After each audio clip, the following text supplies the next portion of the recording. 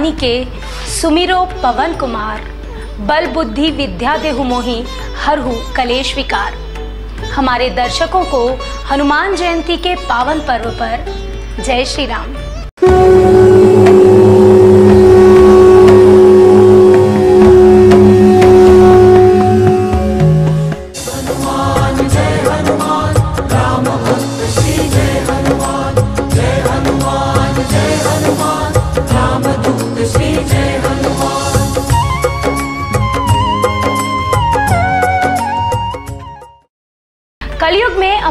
वरदान प्राप्त करने वाले बल, बुद्धि और विद्या के दाता। सेवक धर्म और भक्ति की पराकाष्ठा के अग्रणी हनुमान जी। ऐसे सरल देव जिनके उपासक उनसे मित्रवत व्यवहार करते हैं, जो सिर्फ़ एक बार हृदय से नाम, राम का ले लो तो ही प्रसन्न हो जाते हैं। ऐसे सरल देव का आज जन्मोत्सव है। जन्मोत्सव है भगवान राम के परम भक्त, शिव के रुद्र अवतार और कलयुग के पालनहार प्रभु हनुमान का। अष्ट सिद्धि नवनिधि के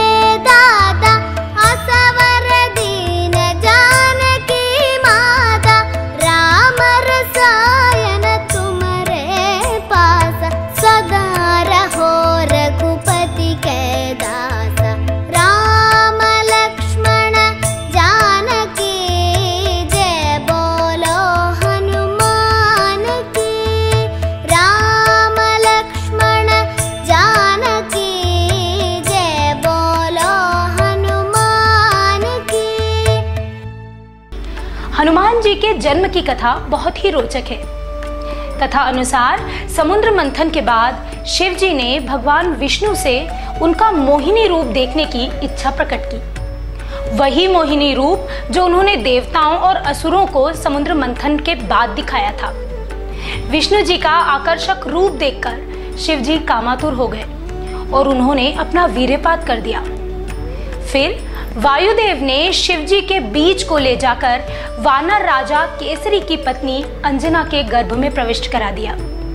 और इस तरह अंजना के गर्भ से वानर रूप में जन्म हुआ भगवान हनुमान का।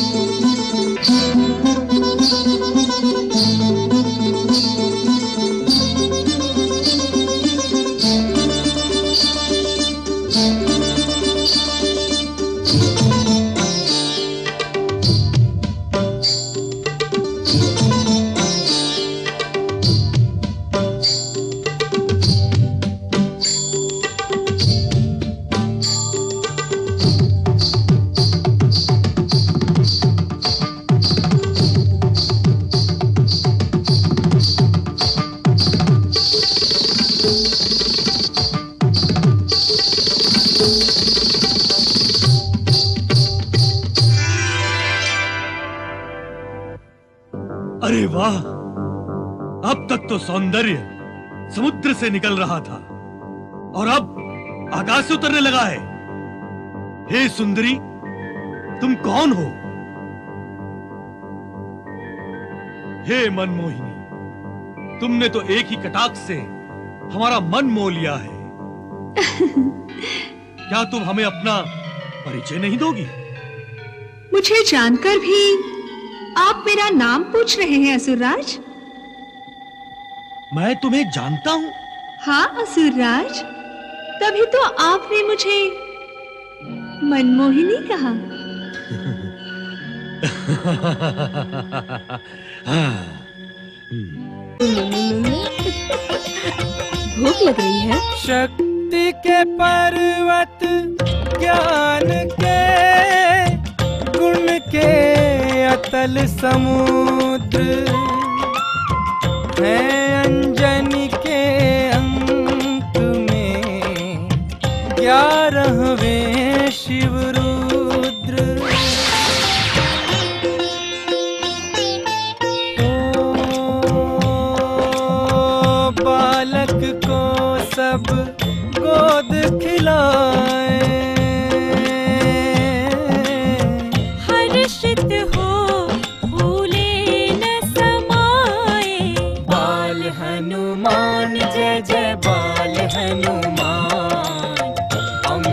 चरित अतुलित बलवान।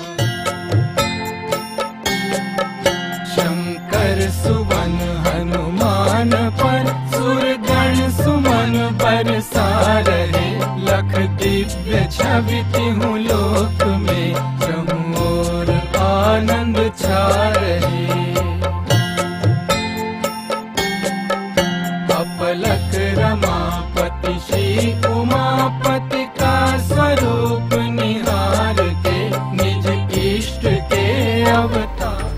हनुमान जी के नामकरण की कथा भी बड़ी रोचक है।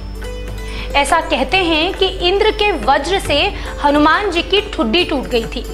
ठुड्डी यानी चिन्ह, और ठुड्डी को संस्कृत में हनु कहते हैं। इसलिए उनको हनुमान का नाम दिया गया। इसके अलावा भी राम भक्त के अनेकों नाम हैं।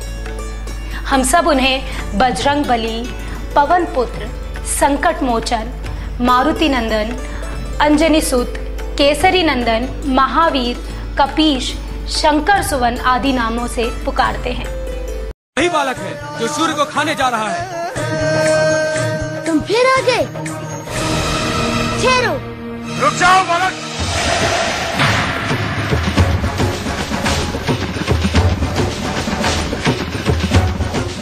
मेरे माता पिता ने मुझसे कभी इस प्रकार क्रोध से नहीं बोला।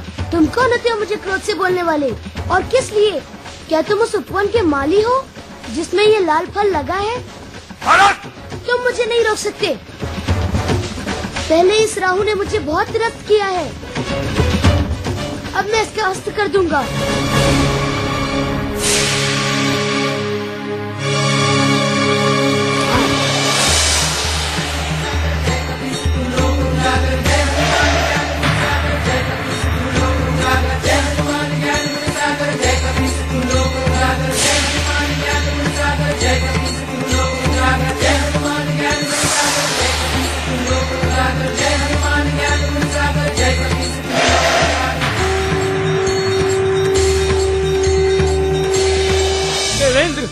कृपया इस बालक से मेरी रक्षा कीजिए।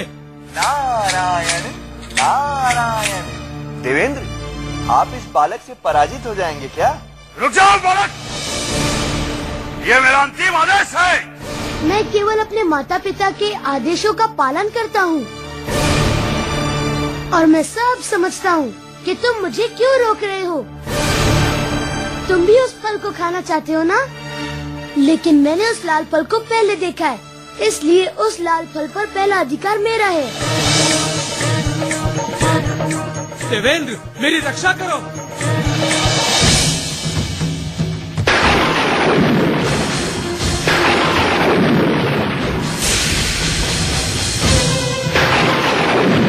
वज्र।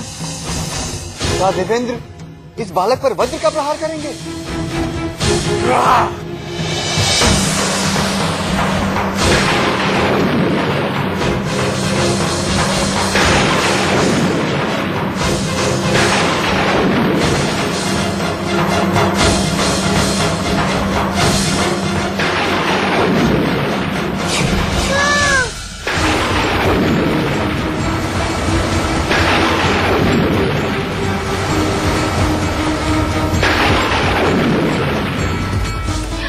हनुमान जयंती पर हिंदू मंदिर में दर्शन हेतु जाते हैं। कुछ लोग व्रत भी धारण करते हैं और कुछ समर्पण भाव के साथ पूजा करते हैं। ऐसी मान्यता है कि ये पवन पुत्र ब्रह्मचारी थे, इसलिए इन्हें जनेऊ भी पहनाई जाती है। हनुमान जी की मूर्तियों पर सिंदूर और चांदी का वर्क चढ़ाने की भी परंपरा है। और नटखट हनुमान की सिंदूर चढ़ाने को लेकर एक रोचक कथा है। ऐसा कहा जाता है कि एक बार हनुमान जी ने माता सीता को मांग में सिंदूर लगाते हुए देखा और फिर पूछ बैठे कि माता, आप अपनी मांग में सिंदूर क्यों लगाती हैं? भोले हनुमान को सीता जी ने जवाब दिया कि मेरे सिंदूर लगाने से प्रभु श्री राम की उम्र लंबी होती है और इसे देखकर वो मुझसे प्रसन्न हो जाते हैं। बस फिर क्या था?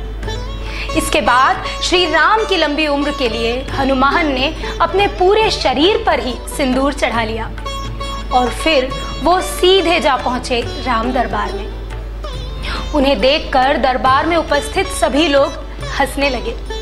मगर प्रभु राम उनकी भक्ति को तुरंत समझ गए और उन्होंने अपने भक्त को गले लगा लिया। बस तभी से उन्हें सिंदूर चढ़ाया जाने लगा, जिसे हम सभी चोला कहते हैं।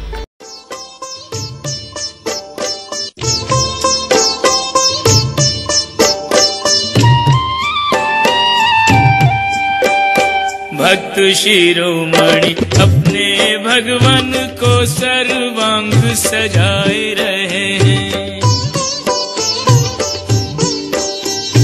नूतन नूतन वस्त्राभूषण प्रेम सहित पहनाए रहे हैं।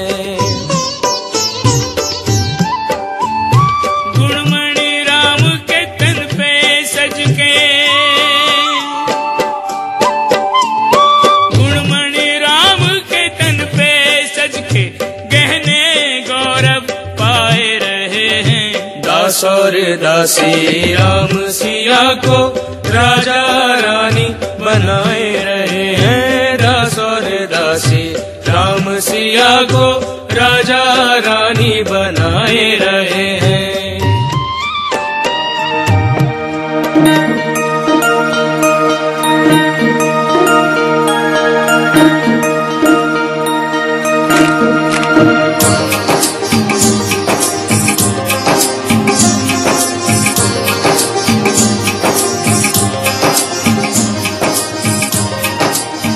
मैया एक प्रश्न पूछूँ? ऐसी क्या बात है बजरंग बली जिसे पूछने के लिए तुम्हें अनुमति लेनी पड़ रही है? मैया मेरे मन में एक जिज्ञासा है। आप अपने मांग में ये कौन सा चूर्ण डालती हैं? चूर्ण? ये चूर्ण नहीं है ये तो सिंदूर है। इससे क्या होता है मैया? इससे इससे मेरे स्वामी प्रसन्न होते हैं। अच्छा मैया ये प्रभु को भाता है? ये उन्हें बहुत भाता है। और इसके अतिरिक्त इसे लगाने से उनकी आयु बढ़ती है। प्रभु की आयु भी बढ़ती है? इसमें कोई चमत्कार है क्या? इसमें तो बहुत बड़ा चमत्कार है। यही तो वो वस्तु है जिसके कारण मेरा जीवन सार्थक हुआ है।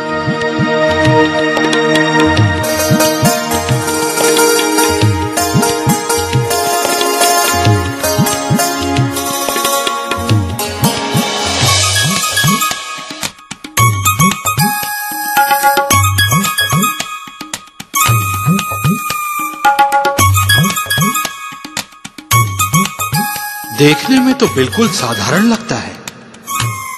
यदि मांग में लगाई हुई पतली सी रेखा से प्रभु इतने प्रसन्न होते हैं और उनकी आयु में वृद्धि भी होती है तो यदि मैं इसे पूरे शरीर में मल लूँ तो वे तो बहुत अधिक प्रसन्न हो जाएँगे और उनकी आयु भी बहुत अधिक बढ़ जाएगी। ऐसा ही करता हूँ।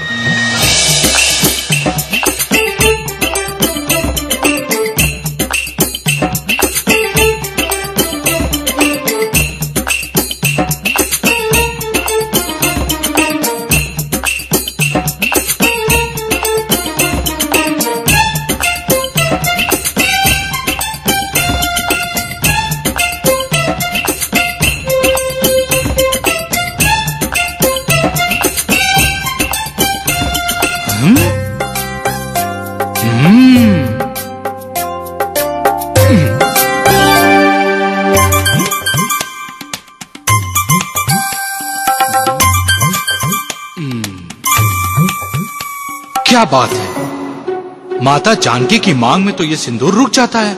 फिर मेरे शरीर पर क्यों नहीं रुकता?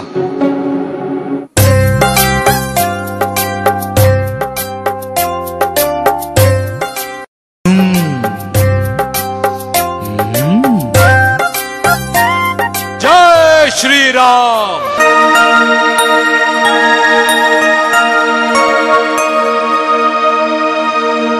सीते आज हनुमान नहीं दिखाई दे रहे। हमारे कक्ष में होंगे। आज वो सिंदूर का कौतुक कर रहे हैं। सिंदूर का कौतुक? अर्थात? आज जब मैं मांग में सिंदूर लगा रही थी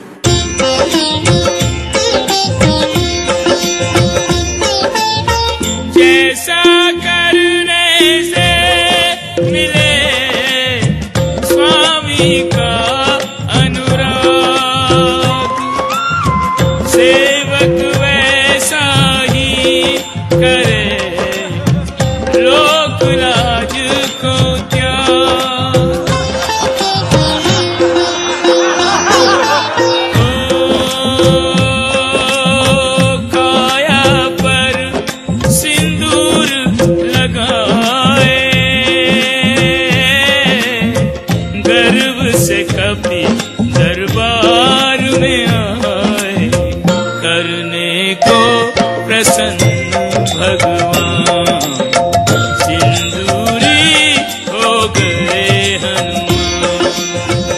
इतना ढेर सारा सिंदूर देखकर आज प्रभु कितने प्रसन्न हो गए हैं। निश्चित ही उनकी आयु भी बढ़ गई होगी। अब मैं सदा सिंदूर का प्रयोग करके प्रभु को प्रसन्न रखा करूँगा।